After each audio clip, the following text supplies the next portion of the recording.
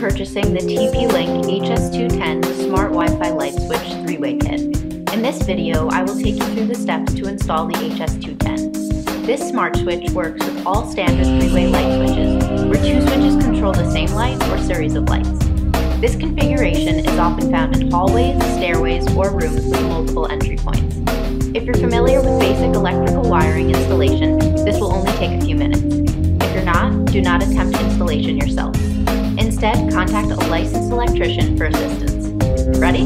Let's get started. Before we begin, you'll need a secured 2.4 GHz home Wi-Fi network. For the installation, you'll need a screwdriver, wire stripper, and a non-contact voltage detector. Download the Kasa app on your Android or iOS device. Open the Kasa app and tap the plus symbol to add a new device. Choose two location kit. Next, detach the HS210 faceplates from the light switches. You will reattach them in the final step. Hold your smartphone up to your old switch. You should have a Wi-Fi signal of at least two bars. If signal is weak, you may need to find another location closer to your router or purchase a TP-Link range extender. When ready, click Start. Turn off the power to the light switches with your circuit breaker. It's usually in your garage, but could also be located in a hallway or closet. Make sure the power is off by flipping the switches to make sure the lights don't turn on.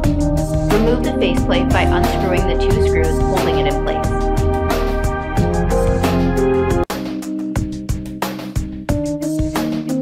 Unscrew the screws pictured at right or detach the switch from the wall.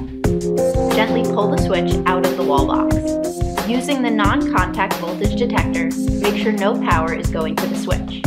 Using the Kasa app, indicate which color wires are attached to the old switch. Look for the neutral wire, which is normally white but could be another color. If no neutral wire is present, the HS210 cannot be installed. The neutral wire is typically found within the wall box with the wire nut on top of it. If no neutral wire is present, it's still possible that there may be one located in other three-way light switches in your home. Label the neutral wire with the supplied label. Carefully examine your old switch. One screw will be a different color, usually black. This is the common wire. Label the common wire with the line slash load label. The two remaining screws should be the same color. Apply the traveler label to these wires. The bare copper or green wire is your earth ground wire. Apply the ground label to this wire.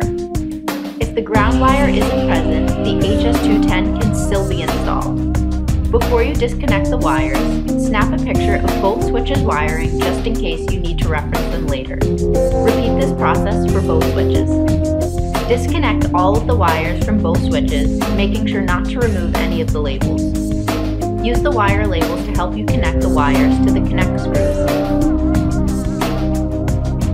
Give each wire a tug to make sure it is securely connected to the switch. Push all the wires back into the wall box and try to push them to the side to make room for the HS210. Set the HS210 in place. Line up the screws with the wall box and screw it in. Attach the face of the plate by pressing it onto the front of the HS210. If you choose to use your own faceplates, make sure not to use metallic ones as they can interfere with your Wi-Fi signal. Turn the power back on